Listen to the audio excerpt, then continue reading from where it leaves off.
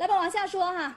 咱们中国人过节有正月不剃头的说法，也有新年新气象、年底改头换面的习俗。沈阳啊，有位托尼老师，哎呀，是个暖男，年终岁尾免费为老人理发，坚持了十四年。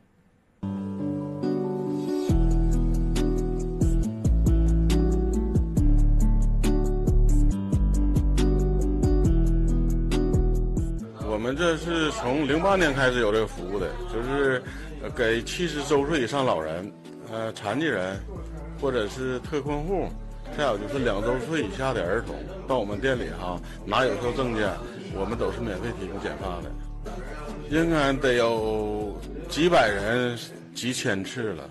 嗯，其实怎么说呢？就是我是个农村孩子，从小家庭条件挺不好的，通过自己打拼，在店在市内开店了。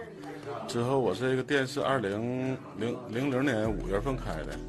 之后经过几年打拼，就是衣食无忧了，吃穿不愁了，不感谢自感谢政府，得感谢这个社会，就想力所能及的，在不影响自己正常生活的情况下，去做一点好事，为这个社会提供点贡献，就说让自己人生吧有点意义。为老人服务的太少了，说那些有的说呢推都推不出去，你给你还不要钱。真的，就就做确实好。所以我的宗旨是啥呢？既然做了哈，就要把它坚持到底，就是公益一生，一生公益。小郭老师是个有心人哈，祝您新的一年里边理发店生意红火，事事蒸蒸日上。